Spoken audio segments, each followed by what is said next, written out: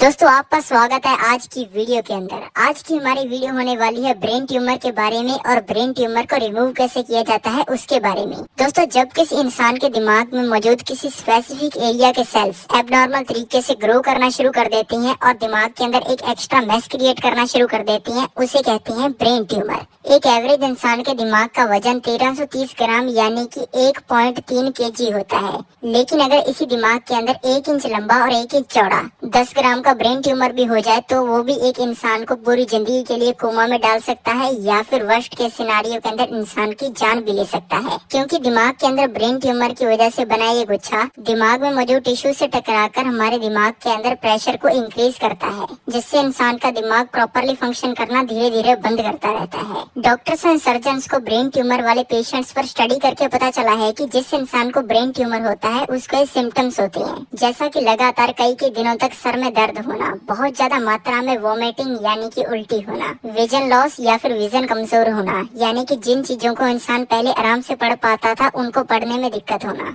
या फिर बोलते वक्त अपनी ज़ुबान को कंट्रोल ना कर पाना, और बोलते वक्त कुछ भी ऐसे अजीबोगरीब वर्ड बोल देना जो कि इंसान बोलना भी नहीं चाहता था, और चीज़ें सुनने में दिक्कत होना बॉडी बैलेंस में दिक्कत होना, यानी कि खड़े रहना बहुत ही मुश्किल हो जाना, और बहुत ज़्यादा समय इंसान के बॉडी पार्ट्स में से कुछ पार्ट्स का सुन होना। अगर ऐसे सिम्टम्स अगर आपके अंदर या फिर किसी और के अंदर दिखाई देते हैं तो इससे पता चल जाता है कि उस इंसान को या फिर आपको ब्रेन ट्यूमर के बारे में अलर्ट होने की ज़रूरत है और किसी स्पेशलिस्ट या फिर ब्रेन के डॉक्टर से कंसल्टेशन लेने की ज़रूरत है। क्योंकि ये सारे सिम्टम्स इंसान को ब्रेन ट्यूमर की स्टार्टिंग के अंदर अपियर होती हैं और तब इंसान के पास ब्रेन ट्यूमर से रिकवर करने का भी बहुत अच्छा मौका होता है। ब्रेन ट्यूमर के अंदर इंसान के सेल्स के अंदर म्यूटेशन हो जाता है, जिससे इंसान के दिमाग के सेल्स रैंडम पैटर्न के अंदर एब नॉर्मली ग्रो करना शुरू कर देते हैं इसके बहुत सारे कॉजेज हो सकते हैं। जैसे ही कुछ लोग हाई रेडिएशन जॉब्स करते हैं, जैसा कि flight attendants x-ray machine operators baggage services military या फिर माइन वर्कर्स इन लोगों की जॉब्स के अंदर इनका बहुत ज़्यादा कनेक्शन रहता है अल्ट्रा वायलेट रेस और एक्सरेज के साथ। जैसे एक्सरेज और अल्ट्रा वायलेट रेस इनकी बॉडी के साथ सारा दिन टकराती रहती है। जिससे इन लोगों के सेल्स के अंदर म्यूटेशन हो जाता है और सेल्स एबनॉर्मल तरीके से ग्रो करना शुरू कर देती हैं। दूसरा होता है जेनेटिक डिसऑर्डर इसके अंदर लोगों को, अपनी फैमिली से, यानी कि मम्मी, पापा, दादा, दादी,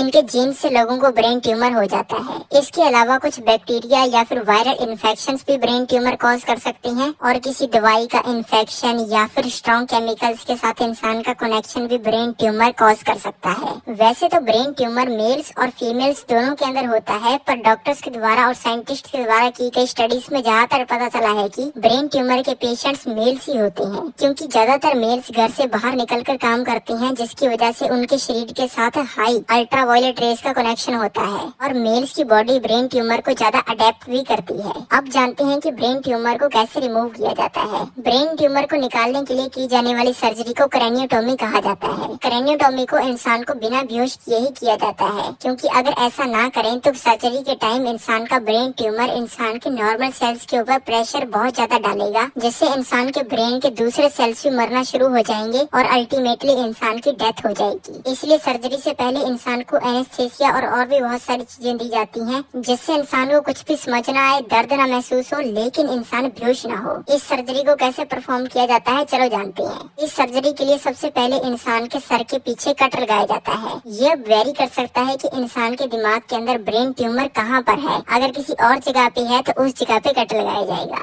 फिर ऐसा करने के बाद इंसान की जब स्किन दिखने लगती है, तब इस स्किन को साइड साइड में कर दिया जाता है। और फिर ओपनर्स की मदद से इस होल को बड़ा करके हमारी हड्डी के ऊपर मौजूद जो पील होती है, उसको निकाल दिया जाता है। फिर सर्जन के द्वारा मैनुअली हाथों से 4.5 पॉइंट mm से लेकर 7.5 पॉइंट mm की एक स्पेशल ड्रिल होलर मशीन लाई जाती है। ये मशीन दिखने और काम में ड्रिल जैसी ही होती है। बस फ़र्क इतना होता है कि इसके आगे की जो रॉड होती है, वो काफ़ी मोटी होती है। और फिर इस ड्रिल से इंसान की हड्डी के ऊपर एक एक करके तीन होल्स किए जाते हैं और फिर मैनुअली हाथों से हड्डी के इस पूरे ही पार्ट को निकाल लिया जाता है। फिर इंसान की स्कल की स्किन के ऊपर कट लगाया जाता है। फिर ऐसा करने के बाद इंसान की जो कनेक्टिंग बोन होती है, उसके दोनों साइड्स के अंदर कट लगाकर इस कनेक्टिंग बोन को पूरा ही निकाल लिया जाता है। ये कनेक्टिंग बोन एक ऐसी बोन होती है कि इसको अगर हमारे दिमाग से परमानेंटली निकाल भी दिया जाए, तब भी कोई फ़र्क नहीं पड़ेगा और हमारा दिमाग पहले जैसे ही हंड्रेड परसेंट परफॉर्म करेगा। और इसके ऊपर कट लगाने के बाद देखने लगता है ब्रेन ट्यूमर फिर कटर्स की मदद से प्रिसाइसली हाथों से डॉक्टर्स के द्वारा ब्रेन ट्यूमर की आउटर कवरिंग के ऊपर कट लगाया जाता है और फिर धीरे धीरे ब्रेन ट्यूमर अपने आप दिमाग से बाहर आ जाता है। फिर ऐसा करने के बाद इंसान के सर को बंद करने के लिए सबसे पहले एक स्टिकिंग प्लेट लगाई जाती है। फिर ऐसा करने के बाद जो हड्डी तीन होल्स करके दिमाग से निकाली गई थी, उसको वापस दिमाग के अंदर लगा दिया जाता है और इंसान के दिमाग की कनेक्टिंग बोन को ऐसे ही छोड़ दिया जाता है। और ऐसा करने के बाद इंसान के दिमाग से ओपनर्स को निकाल लिया जाता है और स्किन को बंद कर दिया जाता है। और फिर ऐसा करने के बाद स्किन को बंद करने के लिए इंसान की स्किन के ऊपर टांके यानी कि स्टिचेस लगाए जाते हैं। और फिर ऐसा करने के बाद रेडियोथेरेपी और कीमोथेरेपी का भी सहारा लिया जाता है। इन थेरेपीज के अंदर रेस का सहारा लेकर बिना हाथ लगाए मशीन के द्वारा दिमाग में मौजूद बाकी ब्रेन ट्यूमर के सेल्स को खत्म किया जाता है, जिससे वापस ब्रेन ट्यूमर होने के चांसेस लगभग ना के बराबर हो जाते हैं और ट्रीटमेंट बुरा हो जाता है। तो आज की वीडियो देखने के लिए आपका बहुत बहुत धन्यवाद। अगर आप भी मेरी तरह हर महीने लाखों रुपए कमाना चाहते हो तो लिंक पिंड कमेंट में क्लिक करो।